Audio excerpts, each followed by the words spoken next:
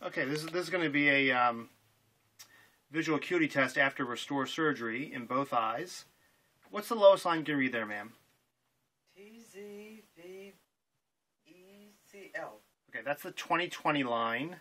That is from 20 feet away. And now I'm going to ask you to read. Can you read uh, that line right there? Oh, certainly. My friend goes to the beach every summer. She found that that great book at the local library. Okay, what's the lowest line you can read there? Lowest line.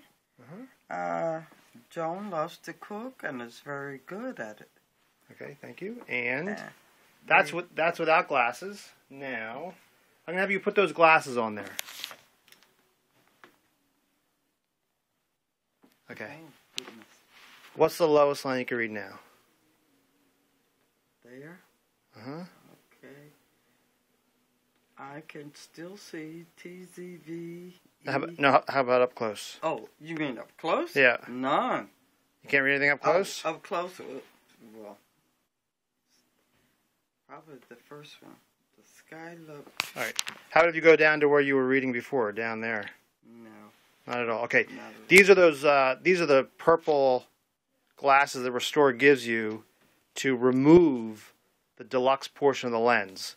So when you when you uh, put these purple glasses on, it basically removes the Restor lens and puts it back to the basic lens. Thank you very much. Have a good day. One second.